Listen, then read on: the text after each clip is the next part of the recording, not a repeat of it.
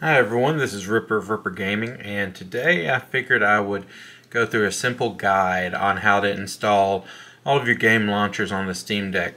Um, I, I know this might be easy for some folks but um, just through looking at comments I can notice that some people are new to PC gaming and that's essentially what the Asus ROG Ally is. So um, there, there is a handy app that kind of goes through that. So I'm just going to take a few minutes and go through um, how to use it, basically how to get to the game launchers, and then how to install your games from there. So um, we'll go ahead and jump right into it here. Now if you um, look at the device, you're going to have these buttons on the side here. Now this little icon on this right button here is the uh, ROG uh, icon for Asus. Now they use the same icon for motherboards and other devices that they create. Um, so it's familiar to me because I already have an Asus motherboard, but if you didn't know what that is, that's what that stands for. So um, the first thing you're going to want to do is hit that button. So once you get into it here, you're going to see I've got my game library, which they kind of organize automatically for you, which is pretty nice. So I think it might come with uh, maybe Xbox on it to, by default.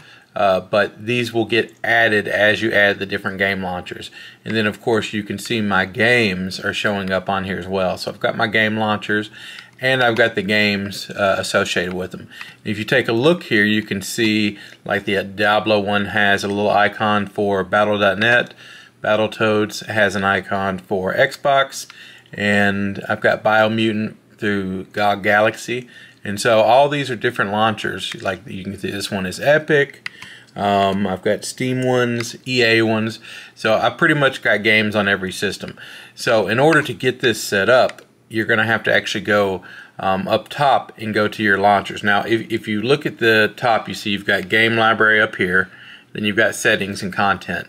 And I'm going to make another video that goes through these in more detail. Um, just if, if people have questions about them and, and try and help them get familiar with the device. But for um, this video, we're going to be going to the content section. And so you can see up here, uh, I've got it zoomed in a little bit, but this top right bumper here, that moves you to the right, and then this top left bumper moves you back and forth, left and right on the device. So when we go to content here, you're going to see an option for game platforms. And so that has the icons for all the different launchers. Now, if you had some type of game that you just download directly from a website, or if you play games like .io games on the website, then you would just go to the browser for that. But for this case, we're going to click on the game platforms. I'll go ahead and click it with A instead of um, hitting it. So if you notice on all of these, you can see I've got a little checkbox that says installed. And so this is just letting you know you've got the launcher installed.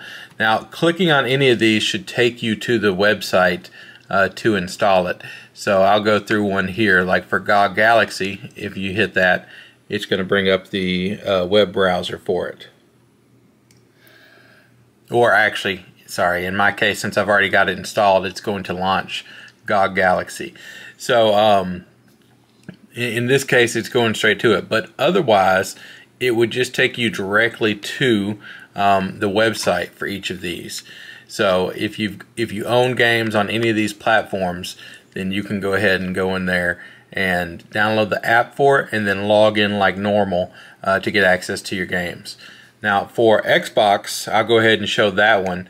So Xbox is um, the one system that has uh, the game library. If you've got Xbox uh, uh, Game Pass Ultimate, and so in that case, it'll bring up the Xbox, which is kind of built in because they partnered with Microsoft on this.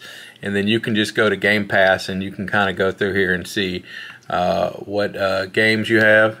Um, and let me show you another option here too. So um, right here you can kind of see that there's this gamepad mode and this this might be good to point out especially when you're installing all these browsers now gamepad it shows it's in control mode now if I hit A on that or if I touch it then it's going to switch that um, over to auto or to gamepad or to desktop so if I switch this to gamepad then I can kind of navigate as if I'm using a controller here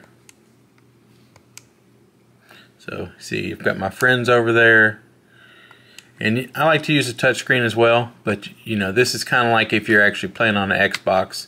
Um, so it really just you might want to kind of play around with these and use it the way you think is best.